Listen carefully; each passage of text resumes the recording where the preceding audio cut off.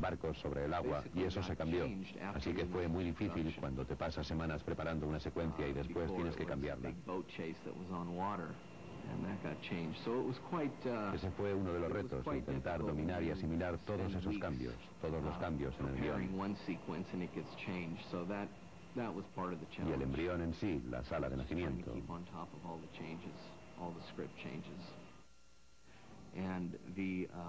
El director quería que la esfera de clonación o el embrión fueran muy orgánicos.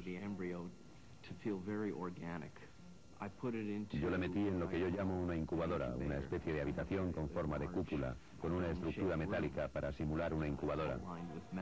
También introdujimos brazos automáticos para dar a entender que hay una ayuda mecánica detrás y que no todo se hace desde dentro de la incubadora con seres humanos. Podría decirse que es una sala aséptica, con esta esfera dentro de ella creciendo. Después tenemos una celda donde le meten cuando ha nacido y allí le crían.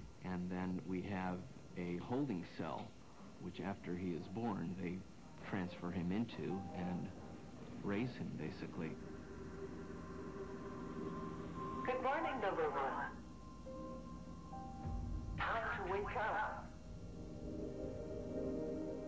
There's a small observation. También hay un centro de observación que controla todo el espacio. Oh, did you forget yourself? Maybe your golden boy is retarded. Physical readings are normal, but the brain sine waves are low. De Replicant trata de eso. ¿Tenemos estos comportamientos inculcados? ¿Nos comportamos de una manera concreta a causa de nuestros antepasados? ¿Es naturaleza o aprendizaje? El problema es que su cerebro aún no ha adquirido la experiencia de la vida de 0 a 39 años, así que tendrá que aprender a caminar, a sentarse.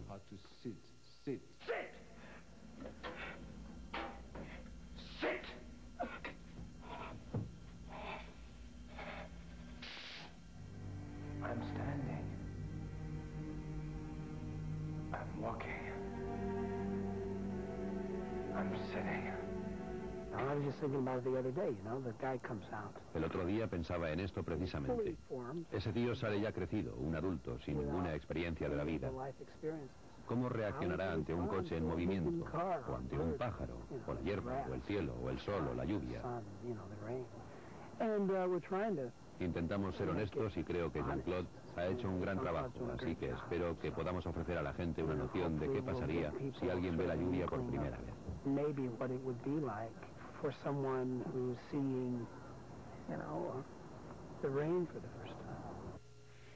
Va a aprender lo que es la vida. El miedo. La furia. Es como un bebé recién nacido.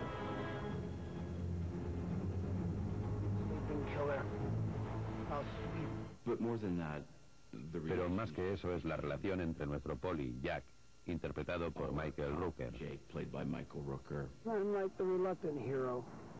Yo soy una especie de héroe reacio. No quiero estar donde estoy. Preferiría estar pescando o construyendo barcos y el personaje de Garrote, el asesino, es como una espina clavada en el costado. Y eso es lo que me retiene ahí aguantando el tipo.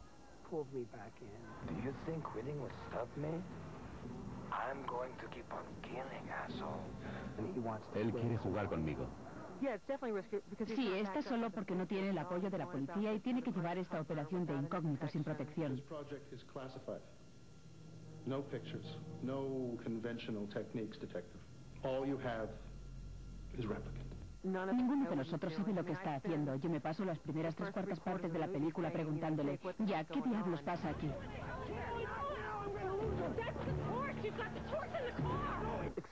Hay explosiones.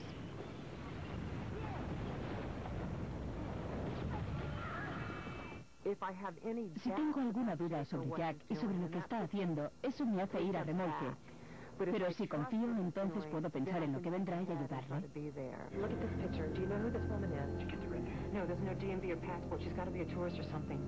Quiero pillar al asesino a toda costa.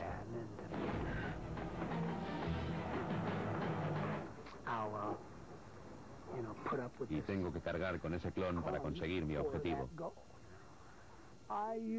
Yo utilizo al replicante como una herramienta para intentar localizar al asesino. Le utilizo como un cazador utilizaría a su perro.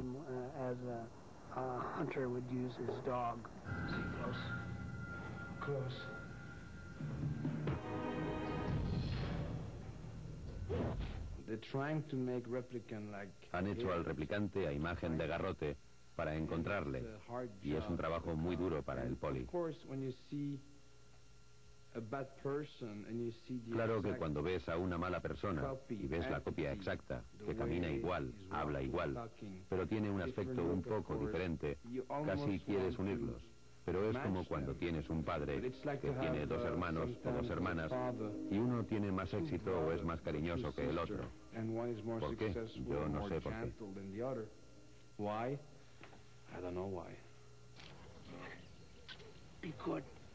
Pero tiene un giro muy bonito al final, algo poético, algo genial. Poetic, something, something great.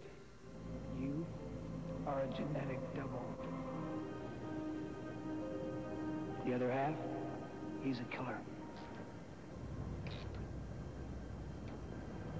The character of the replicant el personaje del replicante es como un niño, y un niño no sabe cómo luchar, solamente sabe